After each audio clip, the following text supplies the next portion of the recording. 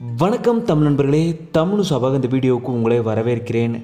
மெட்டி கோடி சீரியலில் நடித்தது மூலயமா ரொம்பவும் பிரபலமானவங்க தான் கிருத்திகா அவங்க. இவங்க அதுக்கப்புறம் சன் டிவியில் ஒளிபரப்பான பாண்டவர் இல்லம் பிரியமான தோழின்னு பல சீரியல்களில் நல்ல நல்ல கதாபாத்திரங்களில் நடிச்சிருக்காங்க. இப்படி நல்ல நல்ல சீரியல்களில் நல்ல குணச்சித்திர கதாபாத்திரங்களில் நடிச்சிட்டு வந்த கிருத்திகா அவங்க இப்போது ஒரு தகவலை வெளியிட்டிருக்காங்க.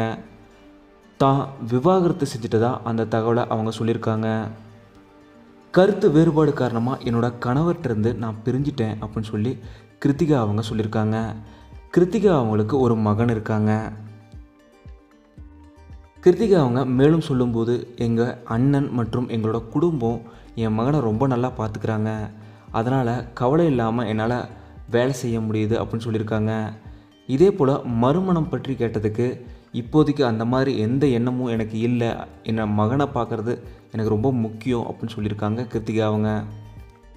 கிருத்திகா அவங்களுக்கு தொடர்ந்து பல சீரியல் வாய்ப்புகள் கிடைச்சி மேலும் பல உயரத்தை அடைய தமிழ் சார்பாக எங்களோட மனப்பூர்வமான வாழ்த்துக்களை நாங்கள் இங்கே தெரிவிச்சுக்கிறோம்.